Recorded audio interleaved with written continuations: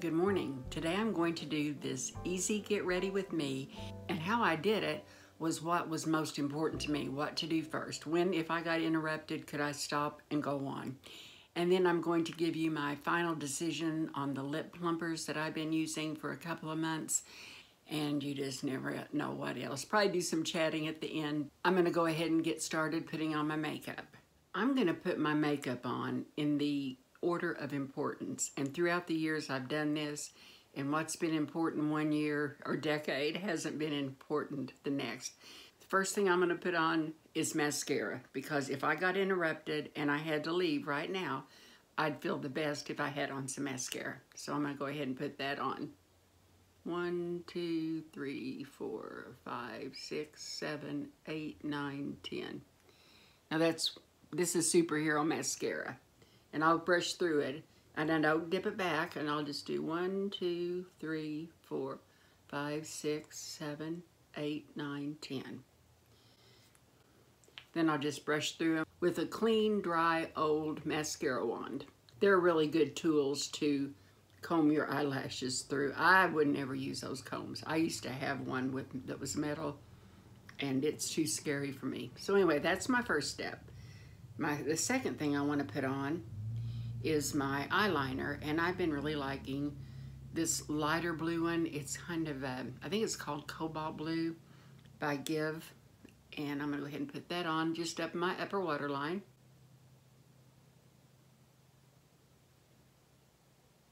Right now, it would be okay if I had to leave the house. It would be okay no matter what, but this is kind of like my hierarchy of what I need before, you know, to to just feel like I have on some makeup. Then I'm just going to put on the Buxom lip gloss. And I think this is the one that has Julep in the name. I've, I've repurchased this one. And I am going to talk about lip plumpers when I'm done here if I have enough time. Most of the time, this is all I wear. I just kind of stop right here.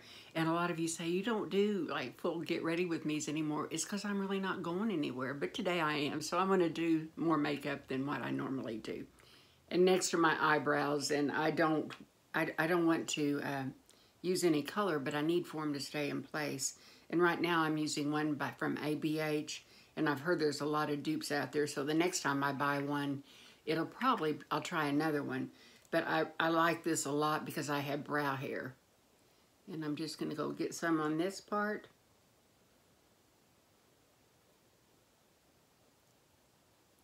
and I just bent the end of a spoolie. And that's, that's all I do. And that's good for me. I ordered something when BK Beauty had their uh, sale, their 20 to 35% off Mother's Day sale. And I've been using it and I really like it and I want to demonstrate it. It's, it's the Angie Hot and Flashy Concealer Brush. Lisa had sent me the set and I gave it away and I wanted to try that brush because it really, I love her 101 brush and I'm going to use that too. But what I'm going to do first, I'm going to use the regular IT uh, Celebration Foundation, not the Illumination, and in it I wear a medium beige. I can wear anywhere from light to almost tan with the powder foundation. But I'm going to go work right here, right in my dark spot right here and I'm going to use this brush and I really really like it. I'll use it in a couple areas too. Jim is doing well which is wonderful and it'll probably be a little while before we travel but he just keeps getting better every day. But the other day he was in the refrigerator and he said well the Italian salad dressing is out of date and I said well did you taste it? He said no it's out of date and I said Jim, I lived 50 years before they had expiration dates on food and I'm not I'm not knocking expiration dates at all but nobody needs to tell me when my sugar is bad. You know I mean flour gets bad if you leave it out. If you put it in the refrigerator or freezer it stays longer. But it just really aggravates me to see expiration dates on anything because how did we make it back in the day? How did we make it without having expiration dates. And when I saw them on Band-Aids, I thought, I'm done. I'm done. I can smell something. I mean, there's lots of ways to know if something's expired. And I'm probably on a rant that I shouldn't be on, but it's just aggravating to me. So I use this brush just to get, you know how I've had other brushes that I use like this, but just to kind of get in the areas that need the most coverage. And then I'm gonna, this is her 101 brush. I love it with foundation. It's the only one that I have ever liked uh, for foundation, for regular liquid foundation, but I'm gonna use it with my powder today. And I'm just gonna put this in the one time, and then I'm just gonna press it in. And I think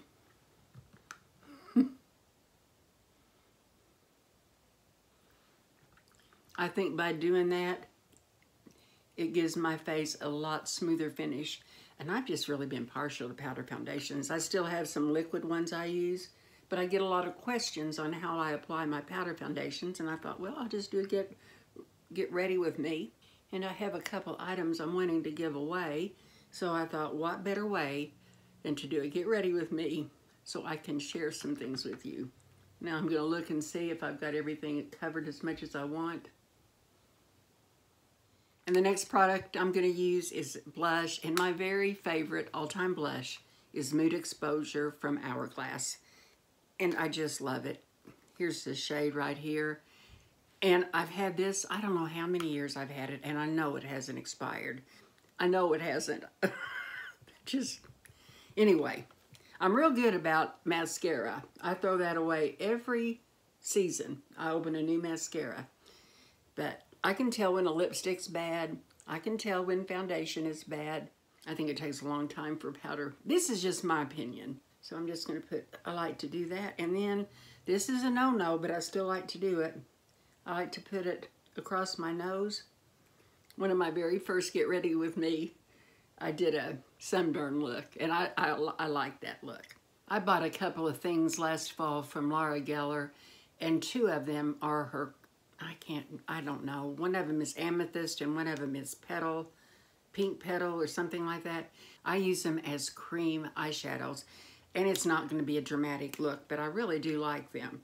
They are easier to spread than the ones that I had from CoverGirl. I don't know if they're as good as a lot of the others because I only buy cruelty-free makeup and I can't try a lot of those that look so good. But anyway, I'm just going to put this across my eyelid and I'll do it on both eyes. And it does, I don't know if you notice, it doesn't pull and tug at my, the skin on my eyeballs. And that means a lot to me. Because the less I pull and tug, the better shape my eyelids are going to be in. And that's a very natural look. And this is the one in Amethyst. I am just going to put a little bit here in the corner. See how I just, just some in the corner, and then I'm going to bring it in.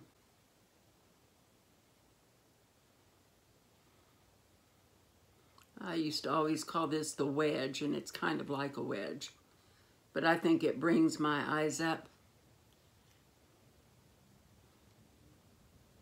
on the ends and gives them a little definition. And I do have permanent eyeliner, so I don't usually put anything underneath my eyelashes because I, I got that done a long time ago. I'm, I really don't have any idea. Probably close to 13 years, something like that. And I'm going to go ahead and use a lip liner, even though I have lip gloss on. This is in Pink Lady, and it's by BK Beauty wonderful lip liner. I'm not, I don't use lip liners a lot, but when I do, I love them. And sometimes I'll use a lip liner without anything, but I don't go outside my normal vermilion border. I stay inside. And if you have trouble with your lipstick bleeding, if you put a good lip liner on and kind of pat it in, it'll, it'll kind of keep a barrier that it won't go up in your lip lines. But any products I ever talk about on here do not go up on my lip lines because I won't use them.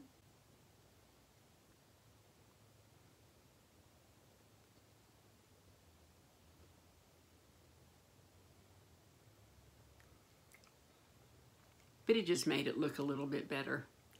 And so that is it. That is my get ready with me. It's so funny when I edit this, I have no idea if it went well or not. I, I noticed looking at my viewfinder that this is Paisley and this is Paisley. I have loved Paisley. Oh my gosh, ever, ever since I knew what Paisley was, I've loved Glen Plaid, I've loved Tattersall Plaid, I've loved Blackwatch Plaid. There are things that I will love no matter what. That's why I have Paisley wallpaper because I'm gonna always like it. And I got a robe like this. In fact, it made it in my favorites video, my 10 favorites of 2021. I got one kind of in a pinkish color. And then right after I bought it, I bought this one in a paisley. And I really like them.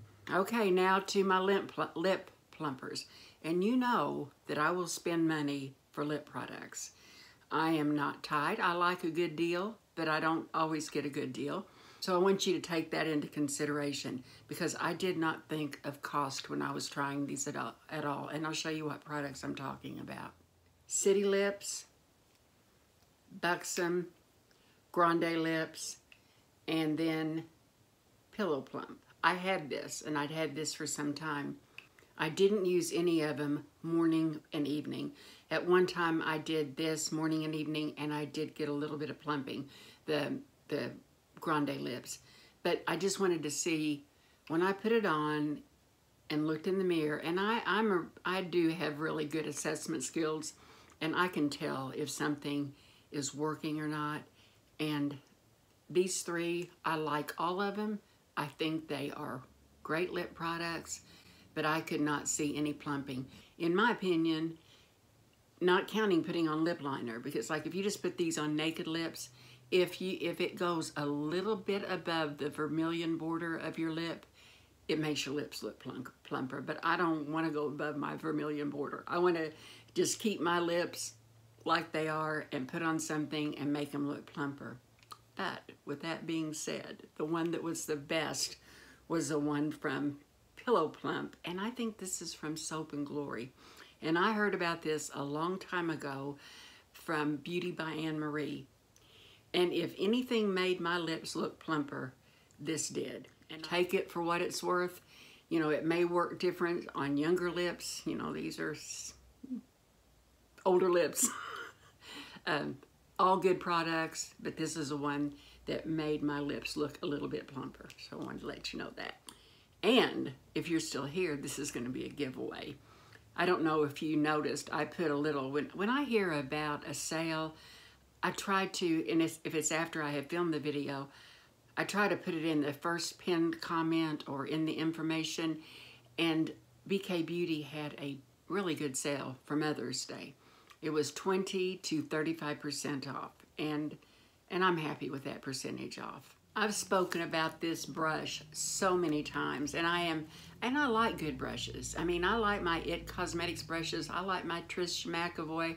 I like my Mary Glitzy Fritzy I, I set. I like a lot of brushes, but for liquid foundation, this is the only one that I like. And this is what I'm using for powder foundation.